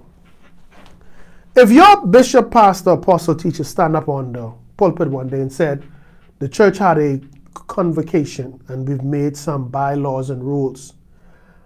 And we came to the conclusion that every couple in here who's not married, but they've been together for seven years, the church now accept that as a legal marriage. And you could shack up and do what you want to do. Now, are you telling me that because that church is your leader, based on the scripture, Matthew, I mean Hebrews 13 and 17, based on that scripture now, do you, are you telling me or are you assuming that God is saying that no matter what that leader says, you must obey that leader? The devil is a liar. Why would God go against his laws? Why would God go against his own rules? So, this is what I'm saying to you. The, the essence in that example is to show you this. When the scripture in Hebrews 13, verse 70 says, Obey them that have the rule of you or that are leading you. He meaning those who are leading you to the things of God, those who are guiding you as it relates to the laws and the rules of God. Now, Kevin, how do we prove this? Because this is a next scripture they like to throw on me to support this doctrine of covering, which still doesn't fit in. Let's go here now to Ephesians. Let's go to Ephesians, Ephesians chapter 4. All right? And we're going to look at verse 11 to verse 12. They love to pull this on me. In fact, the apostle I was telling you about earlier, oh, he yucked this out. He yucked this one out and the one, but don't forsake the assembly. And oh, I did chew him out. But anyway, Hebrews, sorry, Ephesians chapter 4, let's look at it, verse 11. And he gave some apostles and some prophets and some evangelists and some pastors and some teachers. So this is what uh, Christians call the fivefold ministry. All right? So every time you talk about the doctrine of covering and you say you don't need a pastor to cover you and you don't need a church to cover you, you don't need to be under that covering, they will say to you, oh no, you wrong because look, read it, read it. Ephesians 4 11 says, and he gave some pastors and he gave some. Okay, let's read the whole thing. Don't let's read a piece of it. Listen what it says. And he gave some apostles and some prophets and some evangelists and some pastors. And he, who, who was this? And he gave. Who would he give? To the body of Christ, which is a living organism. That's us who believe Jesus Christ. Now that you've come into the, the covenant of Jesus Christ, God says, now these are the fivefold ministries who are to do what? Let's read verse 12. For the perfecting of the saints. Did you see bullying the saints? Did you see that? Did you see controlling the saints? Did you see telling the saints is either no way, is either my way or no way? Did you see them saying here, Jesus says here that the minute that they freak out, tell them get out here. Did you read any of that? No, you didn't read that. So after he said, you come into the body of Christ, and these are the fivefold ministries, and their job, listen, read, listen to their job description in verse 12 of Ephesians 4. It says, It's to for the perfecting of the saints. Now, let's yeah, for the perfecting of the saints. Why? For the work of the ministry and for the edifying of the body of Christ. So myself, I am a teacher, all right? I am a teacher. This is what I do. This is what I'm called to do. This is what God has ordained me to do. This I am doing what God had predestined for me before the foundation of the world, according to Ephesians 1, uh, verses 3 and verse 4. All right? My job is what I do every Saturday with you the perfecting of the saints to edify and condition you for your ministry hoping that the things that I'm preaching and teaching will trigger you, which your gifts are, will trigger you in your boldness to go there and now do what I do. Not necessarily teaching. You may be a singer, you may be a, a motivator, whatever it is. My job is not to lead you to me. My job is not to say, Kevin saying that's it. No. When Kevin say that's it, he's going to give you the scripture now. Because he's what because basically his statement is predicated in on the scripture. He isn't going to give you the traditional stuff where they throw it at you and then yuck any scripture to try. No, no, no, no, no, no, no. That's not teaching. That's deceiving. So my job, just like they have me listed in the five-fold ministry, the last one is me, the teacher. And what is the teacher supposed to do? His job is to perfect the saints. That's what my job. My job is to perfect the saints. Now, what I want to do here, let me look up that word. Where's that now? Perfecting. The word perfecting here, right, which is a Greek word, and that word is pronounced. You know what? I can pronounce this because this sounds like a curse word. So I can, I can, I can read it. I can spell it out. It is K A T A R T I S M O S. This is what the word in the Greek. This is what perfecting means in the Greek. Here's the meaning. It says to furnish or to equip. You hear that? So when he says that, Kevin, you as a teacher, or the other one as a pastor, or the other one as a prophet or evangelist, is to equip, is to furnish. It didn't say to bully. It didn't say to go up there and make a prophecy and say, if you don't give a $100 to the prophet of God, you're going to die. That's not equipping. That's not furnishing. But equipping and furnishing me for what? For ministry. It says it next. Read it. It says it next in verse 11. He says, For the perfecting, which means to furnish or to equip, or to give resources to the saints for the work of ministry. So, whatever I am doing as a teacher, it should never be to benefit me. It should never be to bring me glory. It is never should never be to say, "Hey, I'm the chief teacher. I am the boss teacher. I am the master teacher." I shouldn't be giving myself those titles. I shouldn't be doing that. What I should be doing is teaching the scriptures and perfecting or equipping or furnishing you or resourcing you with the necessary rules, laws, principles, commandments of God so that you could now go and go into your ministry. So at the end of the day, if you say, you know what, boy Kevin, I don't listen to you as much as I used to no more. I listen to so and so. I am happy. You know why? Because you already graduate from my level and now you're going somewhere else. I shouldn't be trying to, oh, no, no, no, if you, no, no, you cannot go under Brother PJ. Brother PJ is the devil. You should stay with me. No, no, no. If you're saying to me, Kevin, I came into some new revelation, And, and, and, and based on what you said, that tie right into that and taking I say, man, look here, I want, give me some of his tapes. I want some of that too. But I shouldn't be, well, if you leave, you know, you're in covenant. You know, I could cast a spell and make a couple cats jump on you, tail PCI. No, that's all bad. That's witchcraft. Why are you saying that? Why are you saying that? Any preacher, any preacher, any teacher, any evangelist, any prophet that threaten you because you feel it's time for you to go forward and they threaten you with, with, with those evil things, rebuke it in the name of Jesus. Father, your word declares that death and life is in the power of the tongue. Every evil word they said to me to that former church, everything that pastor said to my face in the behind my back or to other people about me for my downfall, Father, may those words never take shape in my life. Father, in fact, I pray for that pastor. Yeah, you said that we are to bless those that curse us. And it's unfortunate, God, because if they are a Christian just like me, who made a covenant with your son to be a part of the living body of Jesus Christ, you said in your word in Galatians that we are all now heirs to the promises. So if that's the case, how could someone who's on the same side as me curse me? Don't they know your law, God, that because I'm an heir, just like Abraham, entitled to the promises that you said in your word in Genesis 12 and 3, that whoever curses me, you'll curse them? Are they not aware of that rule? Are they not aware of that law? So how could you come up against another fellow believer unless you're not one? So you see what I'm saying to you folks? Once we stick to the Lord, ain't gonna be no argument, you know. Ain't gonna be no discussion, you know. And you ain't gonna sidetrack me.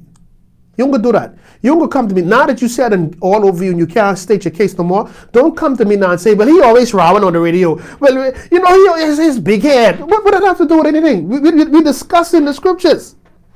I remember him when he was four. Yeah, okay.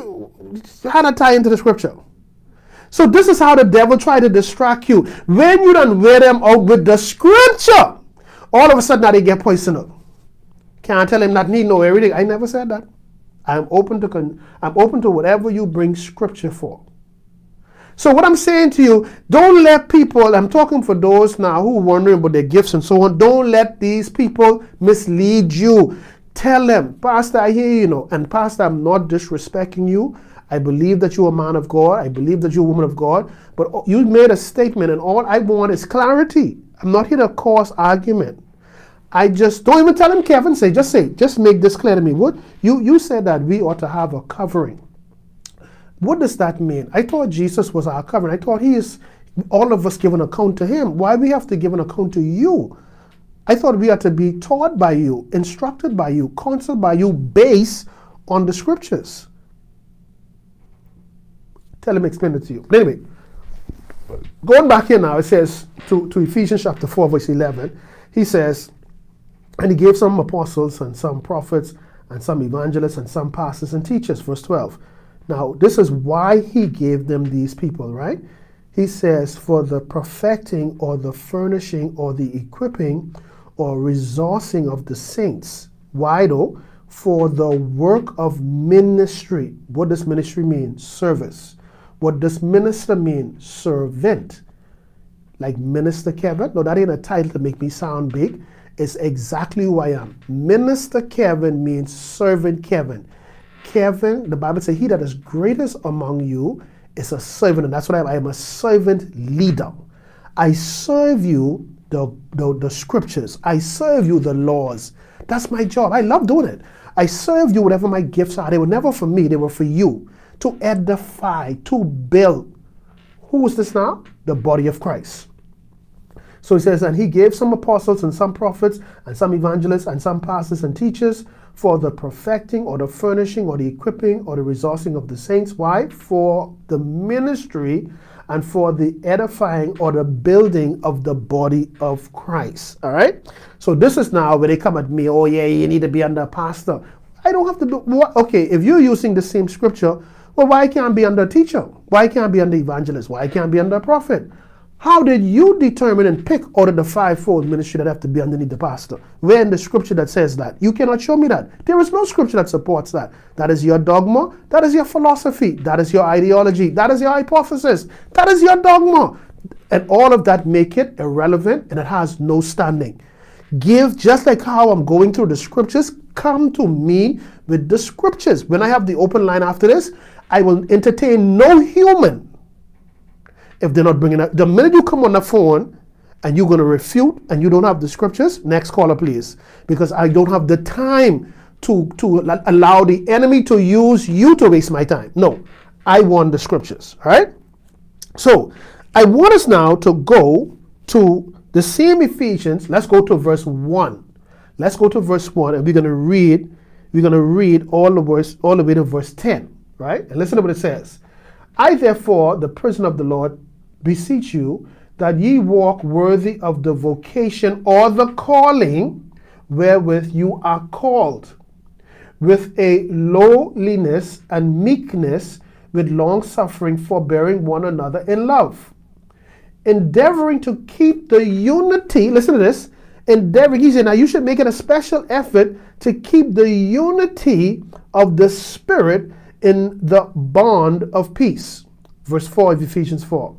There, there is one body and one spirit, even as ye are called in one hope of your calling, one Lord, one faith, one baptism. Now, Kevin, why are you putting emphasis on this? Again, again, let's dispel the doctrine of denomination.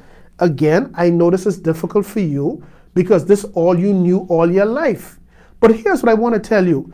You are no different from the people that I sit with and they say to me, Kevin, I was listening to your show and you mentioned something about it was wrong to mop your floor with turpentine. Kevin, I did that. Mommy did it. My Grammy even tell us that on her Grammy. Kevin, you talk about bearing the navel string. I don't see nothing wrong with that. See, we're not interested in what you see wrong, you know. We're, we, are we are interested in what the Bible called wrong. So what I'm saying to you, I'm using this comparison because you could tote a culture, you could tote a belief, you could tote a tradition for years and sign off on it as if it's the gospel of Christ. So the people that do those things I just said, you are equivalent to those who practice a doctrine that have nothing to do with the scriptures. And the, and, the, and the scripture says that the end result of that is that you will not see the hand of God operating in your life. So here it is now. He's speaking about one body, one spirit, one unity. Verse 6 says, One God, Father of all, of all, who is above all, and through all, and in you all. Verse 7 But unto every one of us is given grace according to the measure of the gift of Christ. Wherefore he said, When he ascended up on high, he led captivity captive and gave gifts unto men. Verse 9. Now that he ascended, what is it but that he also descended first into the lower parts of the earth? He that descended in this is the same also that ascended up far above all heaven that he might that he might fill all things. Now, I want us to jump straight to verse 13 because we, we already read the middle part already, right? Verse 13 says, Till we all come, listen to this now, till we all come, till we all come in the what? In the unity of the whole faith. And of the whole knowledge of who? The Son of God unto a whole perfect man, but that cannot happen. This is my point. That cannot happen if the if the if the apostle or the prophet believe he's above everybody else. As a teacher, I cannot believe I'm above the one whom I'm teaching. No, God just pick out a teacher and a pastor. We all on one accord, you know. But He has now given me the mandate to teach, to instruct, to counsel, to advise. In the things of God, not to say I'm the chief in here and what I say goes, and if you don't like it, you can hit the highway. That is not a mind of God. That is not a mind of Christ. That will bring division. That's going to bring confusion and discord. And that's why people leave your church. That's why people are going to leave your ministry and will continue to lead. And you will be in there preaching to the chairs and to the speakers and to the wall and to your art that you have on the wall and not people. Because they came to hear Christ. They came to hear how I am a Christian now. I want to modify this lust spirit. I'm a Christian now, but I love to tell lies. I don't want to lie, but I need to hear the word that will help me in overcoming this. I don't need to hear nothing else. Don't tell me about whatever else you want to talk about. You are a teacher of the gospel, you are a prophet, you are an apostle, you are an evangelist. Then your job is to furnish. Your job is to outfit me according to the scriptures in the event of preparing not only me for ministry, but for me mortifying the evil members of this body that is still challenging the flesh. So, no, no, no, you are not no Lord of me. You are a servant, pastor, apostle, teacher, evangelist, whomever. You are a servant. Get that in your head. You are a servant. Serve the people of God. You are a waiter. You are carrying around a tray littered with the laws of God, and you're now serving them to God's people. That is your job. Not to lord, not to rule, not to dictate to them. No. Let me go quickly now because I got a couple more scriptures before I wind up here. Watch this now. Luke chapter 22. Let's go to Luke chapter 22 because, oh, there's more where it's coming from. In fact, I've been easy today. Luke, Luke chapter 22. Luke chapter 22. And let's read from verse 24 to verse 30. 24. Luke chapter 22. Verse 24 to verse 30, right? And this is dealing with those who believe that the title pastor means you are a king or a dictator or a jail warden. No, no. Stop it. And that's why people turn off from you. Yeah, you make a preach good. Yeah, you might got good prophecy, but your attitude and how you treat God, people turning people off from you. Ain't nobody into that. We are all in one body, under one spirit, under one God. So, Luke chapter 22, beginning at verse 24, it says, And there was also a strife among them, which of them should be accounted the greatest. Now, isn't this interesting? Now, just to give you some history before the scripture, Jesus had just told his disciples how one of them is going to betray him and you know he's going to be crucified and all of that right? And just like the regular people when you die everybody will know who can get the house who can get the car who can be the leader of the family now. So this is exactly what's happening here. So in verse 24 it says and there was also a strife among them. Not that jesus we don't want you to die. Not that jesus we want you to stay here. No no no. Okay so jesus when you go i can be chief? Or or, or this or uh, after Papa died, they left me in charge. You mean leave you in charge? Who are you supposed to be? Why everybody want to be in charge? Why everybody want to control other people's lives? Control your own life and, and lead the rest of everybody else to Christ. So Luke 22 verse 24 says, it says, and there was also a strife among them, them being the disciples. Which of them should be accounted the greatest? Now listen to Jesus. Verse 25 says, of Luke 22. And he said unto them, Who is he? This is Jesus now speaking. Jesus says, The kings of the Gentiles exercise lordship over them. And they that exercise authority upon them are called benefactors. Listen to me. I ain't gonna tell you all what this word means, but I want you to go look it up. That can be your homework. All right? Because they can show you what a benefactor in the relationship of one who believed they in charge, as opposed to being a servant leader. So Jesus is telling them, man, look here, this business about who can be in charge, who is greatest among you, you all need to relax on this, man. Why everybody fighting for position? Everybody want to be elder. Everybody want to be uh, apostle and all. Why, why are you fighting for these things? First of all, if you are supposed to be an apostle or a preacher or whomever, according to God's plan, you are that already. Remember what the scriptures say. Because he foreknew you, he also predestined you. He already said what you will be. He said, so you should be operating in that right now. I don't have to wait for someone to come put their hand on me and say, You are a teacher of the gospel. I understood my gift. I prayed to God. He told me my gift was, so I started moving in it. I'm not sitting down in the church waiting till I at least ready to keel over to hit the grave for someone to say, Come here, come here. Kevin, I know you're 78 now, but Baba, you're a teacher. Go.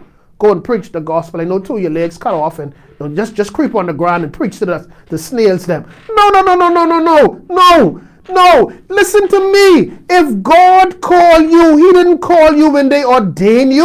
No, you were called before the foundation of the world. Galatians chapter 1, verse 1, what does it says? Paul said, in fact, let me read it, man. Let me put a pause in here, right here. Let's go to Galatians. I'm coming right back here. Let's go to Galatians chapter 1. Because this is what the fella tell me, who ordained me? Who ordained you? He was upset because I said I wasn't ordained by man. He was mad with me. Are you mad with me? Who ordained Moses? Where did they have the ceremony in the desert for Moses? After or before the burning bush? Get away from me. Galatians chapter 1, verse 1. Listen to what I'm saying to you. Paul, an apostle, not of men, that's what I'm reading, neither by man, but by Jesus Christ and God the Father who raised him from the dead. That's what I just read. I just read that. So what am I saying to you? Am I saying to you, go be a renegade and just call yourself apostle? No, I'm not saying that. Are you saying, Kevin, go be a renegade and go just set up a church and say you're the pastor? No, I'm not saying that. I am saying to you, if you believe this Bible, and if you believe that God is the Almighty who know everything, you know the end from the beginning, and you went and you seek God and said, God, what is my gift? What you call me to do? What, what is that you want me to do on this earth? And everything that you've been going through in your life, it's been leading you in one direction. For example, let's look at Joseph. Joseph's brother hated him. They did all kind of stuff to him. But every time he was pushed into another obstacle in his life, he was always the leader of wherever they push him. When they put him in the hole and wanted to kill him, they, was, they sold him over to the Midianites, who took him into Egypt. And what was he in Egypt? He was the head of Potiphar's house. He was the butler. He was in charge. After his Potiphar no good wife accused him of rape, which was not true, he sent to prison. Guess what they do him in prison? They make him the charge in charge of the guards. Everywhere he went, it was conditioning him for what he was called to be. And I'm telling you, I'm encouraging somebody right now. What is it? What is it? My life, my life, all of my life, from the time I know myself there's been attack from witchcraft. Someone I'm involved with, some girlfriend, whatever, trying to work stuff. I meet stuff to my front door, stuff. All of the, I'm like someone trying to send me. No, this was God conditioning you to be. Uh, this is your area of the gospel. So don't let nobody tell you that's all you talk about. Don't let nobody tell you say why you bashing the pastor. Don't forget them. Forget them. You don't got time for them. That's that's background noise. You follow Jesus Christ. You every situation I've been in my life conditioned me for where I am today. And that's why I could stand in boldness. That's why I could stand in confidence. Why? Because of me? No, because I'm standing on the Word of God. That's what supports me and that's what's backing me. So, someone listen to me right now. Every relationship you go in is a problem. Every time you go to a particular job, God, what are you teaching me? What are you conditioning me for? Don't go to those friends you got there and say, oh, you got to send fire on them and kill them up. No, no, no, that ain't what the Bible say. So at the end of the day, here's what I'm saying to you. Your consistent dilemma is conditioning you for a greater cause. That's all I'm saying to you. So let me wrap up right here.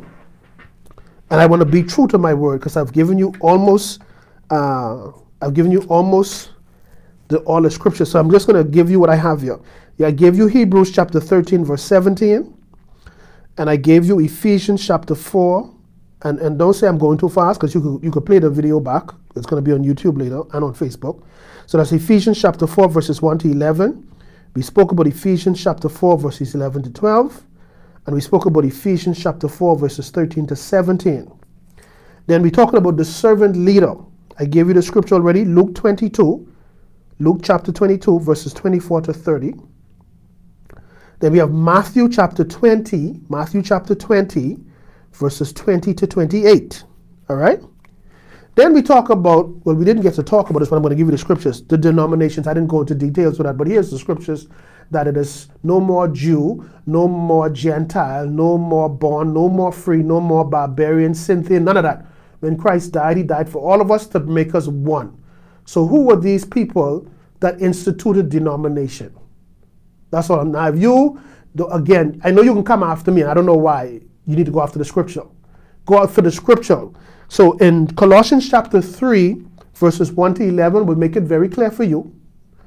Then also in John 17, verses 20 to 22, where Jesus made us his prayer. You know, one of his, his, his ending prayers. He says, Lord, let them become one, even as we are one. So that's Colossians 3, verses 1 to 11, and John 17, verses 20 to 22. And then you're going to go, this is your homework now. I'll expand more on this next week. Ephesians chapter 2. Ephesians chapter 2, verses 14 to 18. Ephesians chapter 2, verses 14 to 18. Then Galatians chapter 3, verses 26 to 29. Galatians chapter 3, verses 26 to 29. Romans, Romans 10, Romans 10, verses 11 to 12. Again, I know you're saying he's going too fast, but you can always play this tape back and get it. Romans 10, 11 to 12. 1 Corinthians, 1 Corinthians 12 to 27. 1 Corinthians 12 to 27.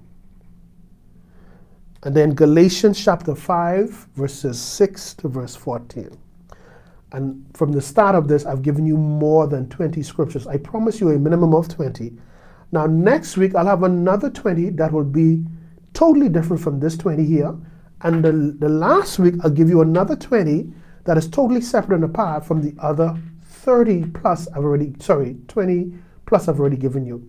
Because, and all I'm doing is just showing you there's so many scriptures that are pointing you to the head of you as Christ, not a man, not a woman, not a pastor, not apostle, not a teacher.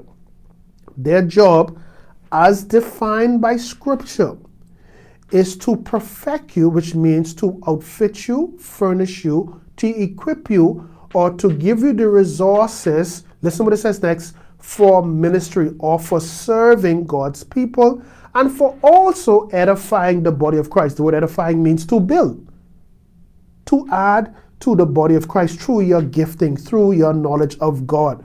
Not going to the body of Christ with a polluted message of covering. Covering is a doctrine of devils.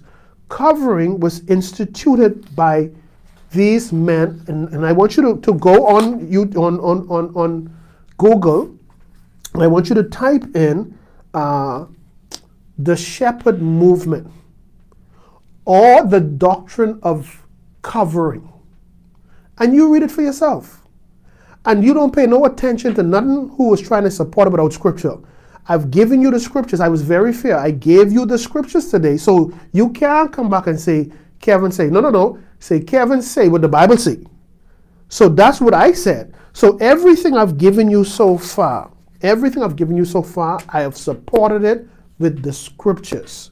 That's all I did. Heavenly Father, I thank you for your people. I thank you for affording me this opportunity to do what you have put in my portfolio according to Ephesians 4 and verse 12, where you said that me as a teacher, a part of the fivefold ministry, is to perfect or to furnish or to equip the saints for ministry and to also edify and to assist with the building of Christ's kingdom on this earth.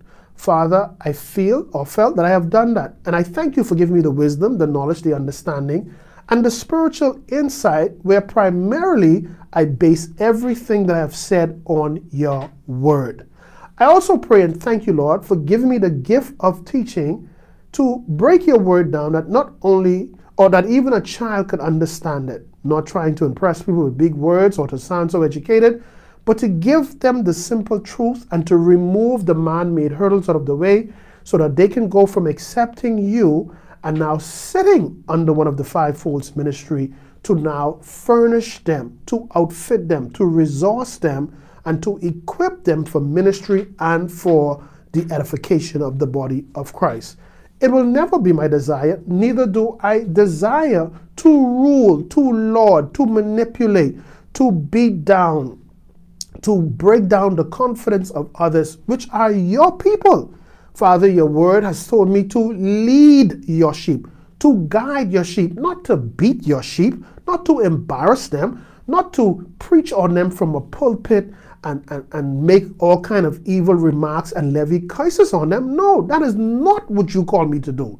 I am a traffic officer in the realm of the physical consistently directing people to your laws, not Kevin laws. So, Father God, if there's any form of, of, of, of, of uh, a haughtiness, pride, self, self aggrandizement, bitterness, hate, unforgiveness, anything, lust, uh, anything in me that will bring me down, that will embarrass your kingdom, I humbly say to you, Lord, to remove that from me and even those who are watching and listening to me. I also pray, Father God, just like how I think Paul told Timothy, to stir up the gift in him. I don't have a gift to give them, but you've put your gift in them before the foundation of the world because you foreknew them. So, Father, I pray that those who are listening to me, that your Holy Spirit will work in them and to now bring them a revelation or give them the revelation of what you have called them to do. And rather than them sitting up under ministries, not being profitable and not executing that which you have called them to do, Father, I pray that you give them a spirit of boldness with wisdom, knowledge, and understanding to move when you say move, to now bring others to your kingdom. Father, we bless you. Father, we honor you. Father, we praise you. And we ask these things in Jesus' name. Amen and amen. Well, folks, that's it for me. Join me next week as we have another detailed, scripturally based teaching on part two of the doctrine of devils. In Jesus' name, amen and amen.